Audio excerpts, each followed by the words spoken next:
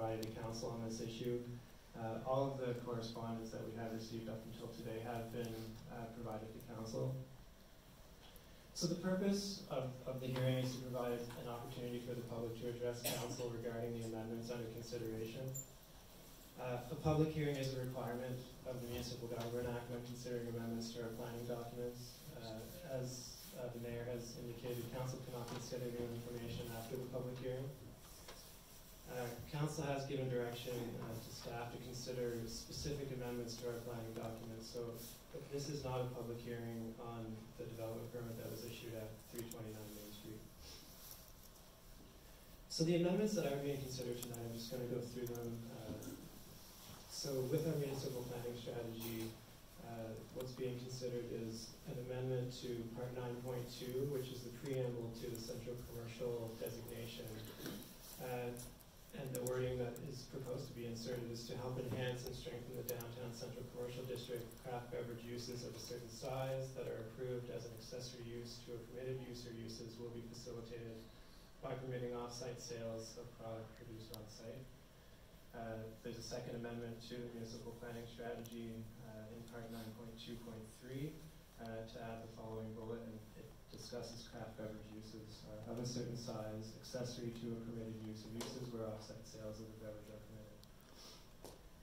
Within the land use bylaw, uh, the primary amendment is to the actual definition of accessory use, uh, and it's deleting the existing definition and replacing it with um, the definition that you can see here, and the main change here is that the words exclusively devoted have been removed. So the uh, definition reads, uh, the use of land or building or portion thereof customarily incidental and subordinate to the principal use of the land or building located on the same lot. Amending the land use bylaw in part 12 to include the following at the end of part 12.1, and this is uh, really to deal with the issue of contract brewing, which came up as part of uh, our planning advisory committee discussion on this issue. So if a development permit is issued for a property that permits a craft beverage use, as an accessory use, the equipment and facilities on the property used for the production of the craft beverage may not be used to produce craft beverages by or for anyone other than the owner of the equipment and facilities. So I just want to go through, through some background. Uh, the how we got here. Uh, this started in September with the judicial review that was done on uh, the property at 329 Main Street. Uh, the decision was upheld for a development permit uh, for a restaurant, retail, and accessory brewery, but did state uh, off-site sales for any accessory use are not permitted under the current land use bylaw. The options were requested by council in October on how to move forward with the judicial review decision, uh, including enforcement and better, and better enabling the craft beverage industry. So at this time, there was recognition that Annapolis Cider Company uh, is already doing off-site sales and has accessory use, and they, they were notified at this time. Uh, council then directed staff in November to proceed with the option of plan amendments that would provide clear parameters for craft beverage operators. Um, so you can see on this sort of timeline, this is when the amendments were initiated back in October, November. Uh, in December, our planning advisory committee held a public participation meeting, um, as is required when considering plan amendments, and considered uh, an amendment package that would allow off-site sales for accessory uses, but also introduce a framework, definitions, and other clauses to clarify how the craft beverage industry could operate in the town. Uh, the PAC recommended to council that the issue be sent back to them with additional information at this time. Uh, in January, at Committee of the Whole, Council considered the uh, recommendation of Planning Advisory Committee and direction was provided uh, to separate the off-site sales and the church brewing and apple cider issue with the remainder of the amendments uh, that would return to the.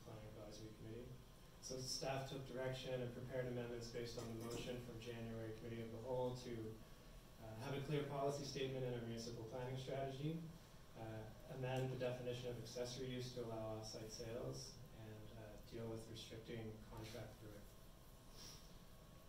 At the February special council meeting, uh, council proceeded with first reading of the amendments and scheduled a public hearing again um, to deal with the, the same points that we've uh, highlighted and the amendments that, that were read earlier.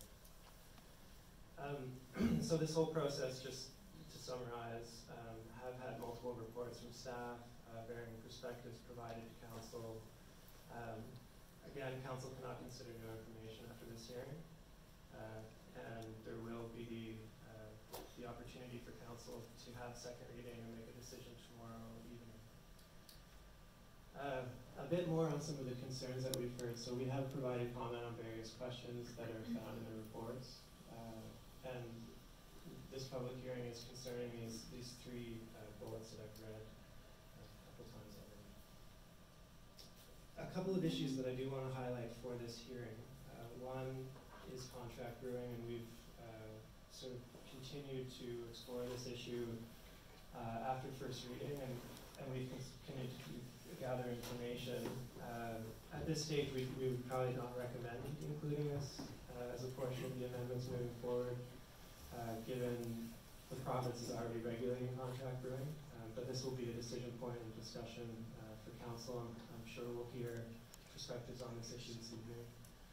Um, the issue of subordinate uh, and within the definition of accessory use is also um, a question I think it's worth talking about here.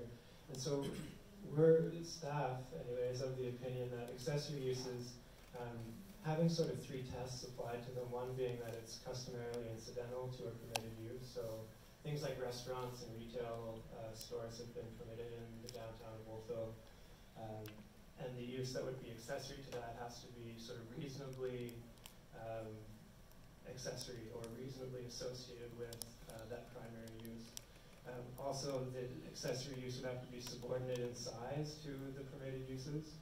Um, and we feel that this, these two tests, uh, as being able to issue a development permit uh, an appropriate framework.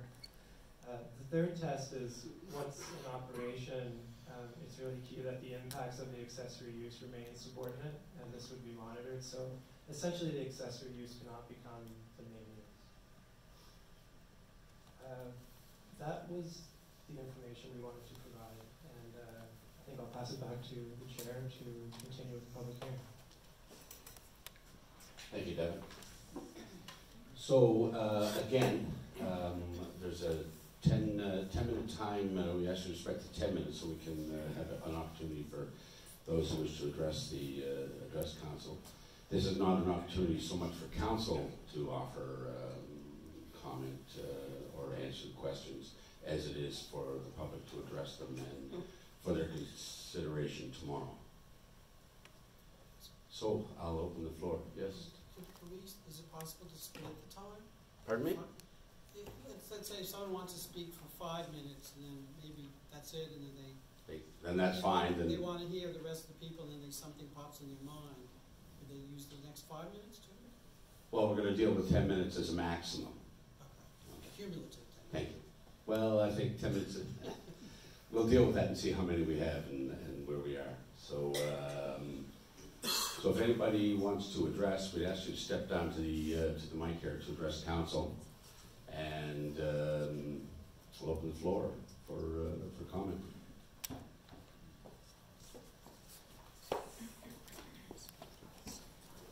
Good evening. I'm Karen McWilliam and I live at 6 Seaview. Tonight is a hearing, but most of you on council have stopped listening. Many members of council made up their minds months ago.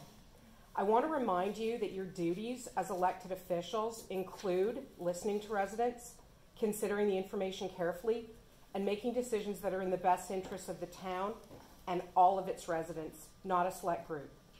I'm really at a loss to understand how you could carefully consider the views expressed tonight and vote on the matter within 24 hours. However, your actions are entirely consistent with how you've handled this matter from the beginning. For reasons that have been clearly articulated since November 2017, I prepared a letter to the Minister of Municipal Affairs asking that the conduct of council and staff regarding this matter be investigated and that the province withhold approval of these changes should they be passed by council. My partner and I are the applicants who initiated the judicial review, which, among other things, indicated that the operation of an accessory use microbrewery must limit the sales of such beer produced to the site where the brewing occurred. The judgment rendered in the judicial review does not require any further action to achieve clarity.